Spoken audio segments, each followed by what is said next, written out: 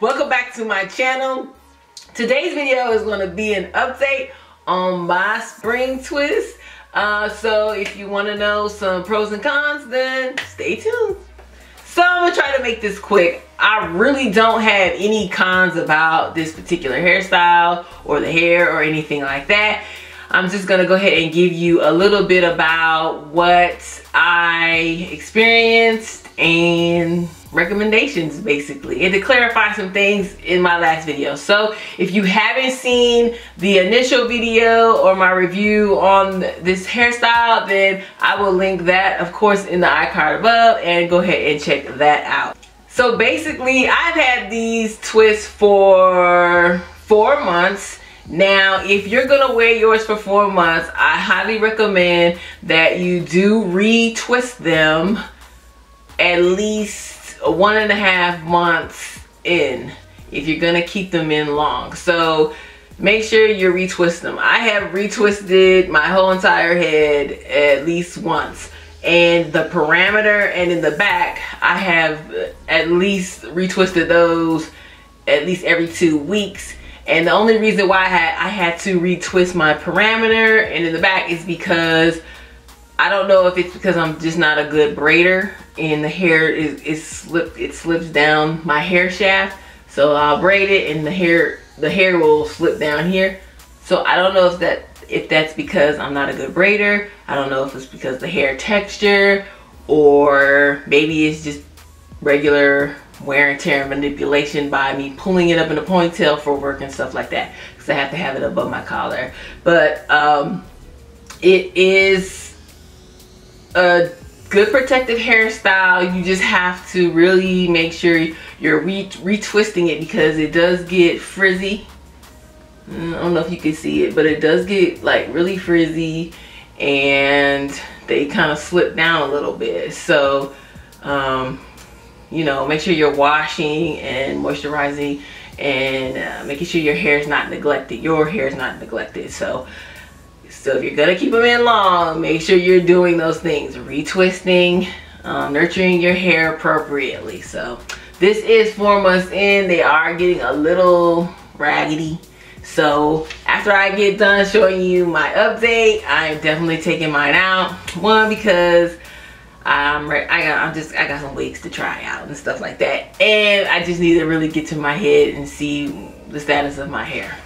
So a lot of you also mentioned the color. You really couldn't see it. Um, does it even really show what's a 1B33 look like? I'm gonna install pictures of what it looks like in the in the sunlight in a little bit more better lighting because the lighting that I have here is really not um, displaying the real color of this hair. So I'm gonna put some pictures in here so you can see that there is a light color to it. It's like a gold, it's like a golden brown type of color. It's got like brown highlights in it. It's really pretty. So, um, it's real subtle, but you can see it in the proper lighting. So I will definitely put pictures of that.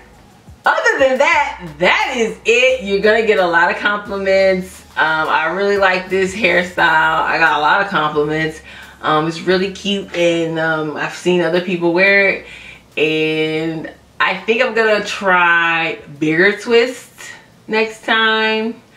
I haven't seen anybody do big twists with spring twist hair you are seeing a lot of passion twist and that's a different type of hair that's being utilized but I haven't seen anybody use bigger with spring twist with the spring twist hair. So I think I'm gonna try that. I may give it a go first without off, off camera and then I may try it if it's successful on camera. So stay tuned for that. If you haven't subscribed please do so.